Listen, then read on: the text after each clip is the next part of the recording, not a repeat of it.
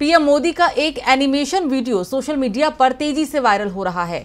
Video में मोदी को वैश्विक नेता के तौर पर दिखाया गया है, लेकिन इसमें दिखाए गए भारत के नक्शे पर विवाद खड़ा हो गया है। इस बीच इस वीडियो को लेकर कांग्रेस, बीजेपी पर हमलावर है तो आखिर एक वीडियो के चलते क्यों हो रहा है बवाल? देखिए ये रिपोर्ट।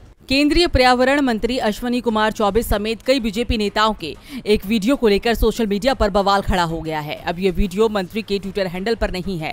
कांग्रेस का दावा है कि चौबे ने जो वीडियो पब्लिश किया था, उसमें भारत का सही नक्शा नहीं था। लद्दाख के कुछ हिस्सों को पाकिस्तान और चीन का हिस्सा दिखाया गया था।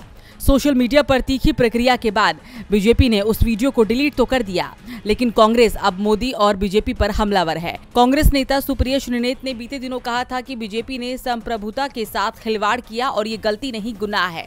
तो वही कांग्रेस के ऑफिशियल ट्विटर हैंडल पर एक ट्वीट पोस्ट किया गया है, जिसमें लिखा गया है कि आपको अनावश्यक रूप से एक शब्द टाइप नहीं करने पड़ते। यदि आपने भारत के मानचित्र को विकृत करने का पाप नहीं किया होता जिससे हमारा क्षेत्र पाकिस्तान और चीन में दिखाया गया है। निर्लज और बेशरम होना आपकी राष्ट्र विरोधी गतिविधियों का कोई जवाब नहीं है। अब फर्जी खबरें और नफरत फैलाने के बजाय बदलाव के लिए कुछ रचनात्मक काम करें। बता दें, पहले इस एनिमेशन ट्वीट को खूब वायरल किया गया और जब लोगों ने आपत्ति जताई तो डिलीट कर दिया गया।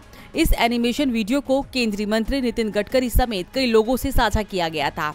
हालाँकि ये कोई पहली बार नहीं है। बीजेपी की ओर से किए गए ट्वीट पर विवाद हुआ हो। डीबी लाइव की रिपोर्ट।